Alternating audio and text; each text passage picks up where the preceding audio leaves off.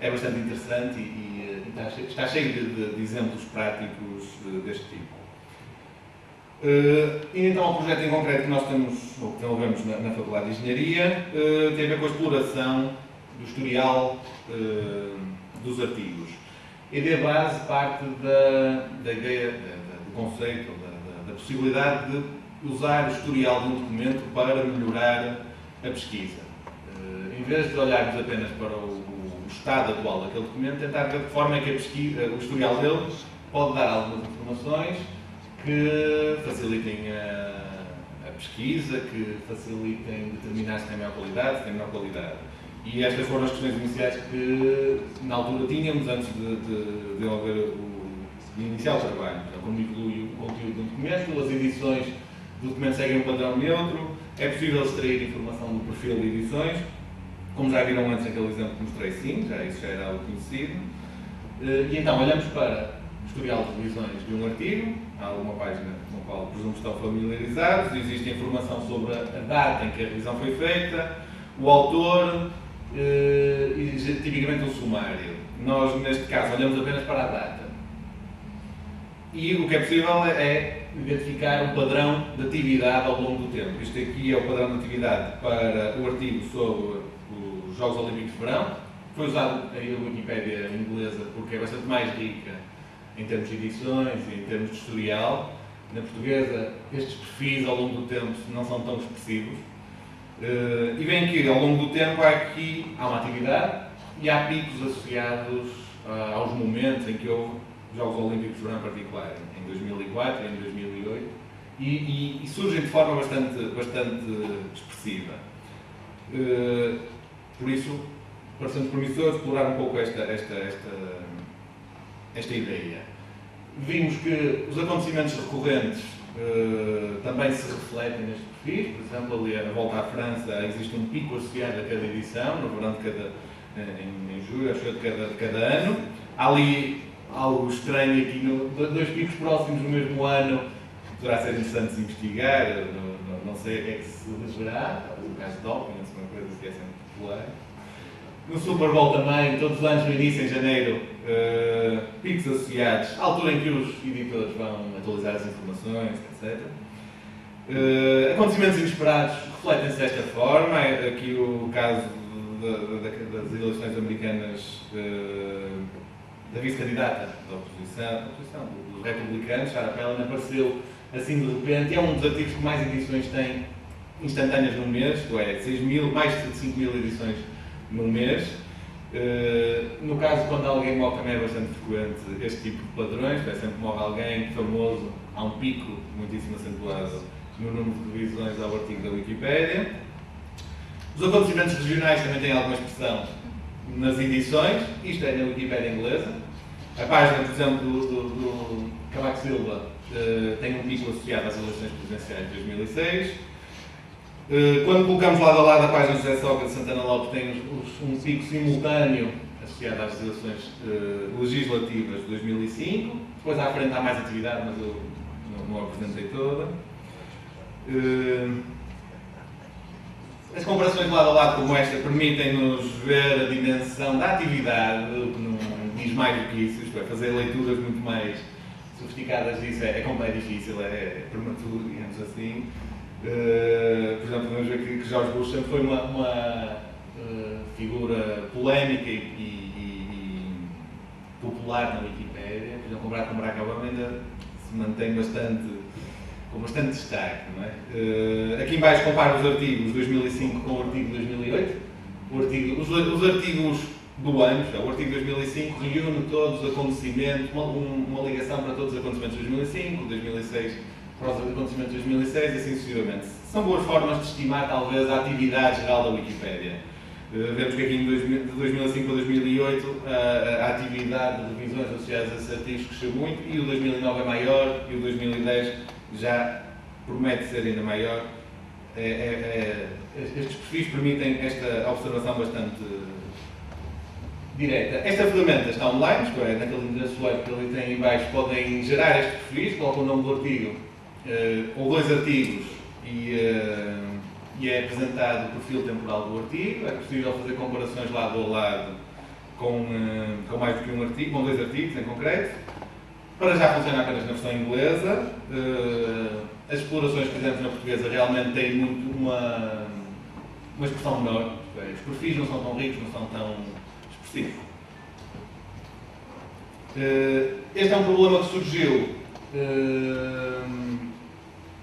durante este trabalho, e é alguém que temos vindo a trabalhar, por exemplo, quando olhamos para um perfil, o que é que, o que, é que significa? Falta ali o título deste, desta página, era a página sobre o Steve Fawcett, era um, um conhecido aventureiro norte-americano, eh, que faleceu ali num, num daqueles picos, mas tem um conjunto de picos associados a ele, e quem não estiver familiarizado com o personagem, não souber quem é, também não consegue perceber a que é que se devem aqueles picos. E isso é isso é um problema que surgiu enquanto começávamos a, investigar e a, e, a, e a, traçar macrofis, vimos que era algo uh, interessante conseguir, por exemplo, para um determinado pico, saber qual é o sumário associado àquele pico.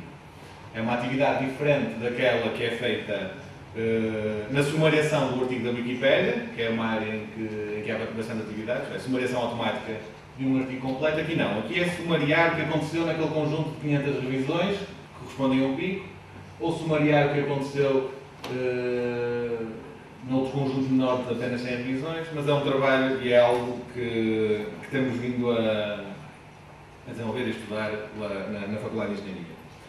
Uh, acho que estou a chegar ao fim. Já tenho uma listagem de alguns dos recursos principais, para quem estiver interessado, para perceber onde é que pode ir buscar as informações, os dados. Uh, a Wikipédia fornece diretamente uh, arquivos onde são reunidos as cópias dos dados disponíveis. Existem os arquivos para cada idioma da Wikipédia. O, o, o, conjunto de artigos da Wikipédia inglesa é, tem um pouco mais do que 100 GB em formato não comprimido. Se incluímos o historial completo, isso aí passa aqueles quase 5.6 terabytes inclui quase toda a informação, porque infelizmente não inclui a informação dos artigos apagados. Portanto, os artigos foram apagados e foram removidos, não está naquele historial. Isso também, também é informação, eu acho que era interessante ter acesso a isso. Né? O que é apagado também diz muito sobre, sobre a dinâmica interna do, da Wikipédia e do sistema. A API, a tal, a tal uh, interface que permite automaticamente aceder a dados parcelares, em vez de termos o artigo, em vez de em vez de termos acesso à coleção inteira, a, a API da Wikipédia permite-nos aceder programaticamente a partes. Esta ferramenta que eu apresentei agora faz isso. Quando nós colocamos o nome de um artigo, ela vai automaticamente buscar informação só daquele artigo, constrói o perfil temporal e apresenta. Uh, outra fonte para aceder aos dados da Wikipédia para investigação são as tais uh, coleções preparadas e processadas por, uh, por terceiros, como a DBpedia, que é uma coleção apenas dos factos, aquelas infocaixas Uh, ou a IAGO, também é uma iniciativa nessa área que reúne apenas uh, factos e conceitos já extraídos e processados. Uh, uma listagem de alguns projetos, apenas demonstrativos, porque há realmente muitos projetos nesta área. o Wikify é uma ferramenta que permite para qualquer página web associar ligações para artigos da Wikipédia. Por exemplo, se colocarmos lá a página de um artigo da, do público, automaticamente esta ferramenta coloca links para as entidades que reconhece e associa isso com umas logotipos ou com os atalhos para as páginas do Wikipedia. Por exemplo, num artigo sobre José Sócrates, tiver lá várias José Sócrates, o Primeiro-Ministro, ou Santana Lopes, lá esses termos, ou essas, essas entidades mencionadas, automaticamente é criado ou colocado um link sobre elas. Eh, é uma ferramenta interessante para a leitura de artigos com conceitos com os quais poderemos estar menos familiarizados.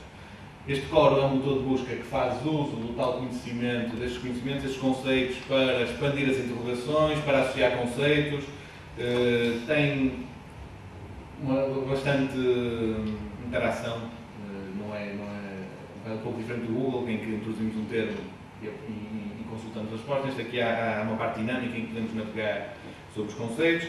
Este Wiki Dashboard, vocês conhecem, mas uh, as pessoas que são editoras ou que trabalham na edição da Wikipedia acho que acharão particularmente interessante, porque associa a cada artigo uma pequena caixa com informação sobre quais são os autores uh, da Wikipédia que estão mais ativos naquele artigo em particular, quando é que fizeram a última edição. Uh, é bastante interessante para quem faz trabalho de edição e de, de conteúdos associado à, à Wikipédia. E Acho que é tudo o que eu tinha. Obrigado Perguntas? pela atenção. Não. Digamos, agora eh, no momento as perguntas são para nós. Eh, esta pergunta é mesmo para o, para o meio científico. Ehm, por exemplo, falou na parte da extração de dados. Como é que nós podíamos ser mais, eh, agora já não é a versão user-friendly, mas mais amigos de vocês e, ou seja, que as coisas ficassem mais fáceis também para vocês extrair os dados e tratar os dados. Ou seja, que a Wikipédia seja usada, a Wikipédia e os outros projetos, sejam, sejam usados não só para, para distribuir informação lida, mas já que seja minimamente preparada para, para bases de dados, para, para o que vocês precisarem. Essa não é a minha área de, de- de investigação, mas eh, a API da Wikipédia já é um contributo bastante importante nessa área, porque o acesso é feito através de, de pedidos diretos, específicos de determinada página, conjunto de páginas, e os resultados ouvidos já vêm num formato estruturado, em XML.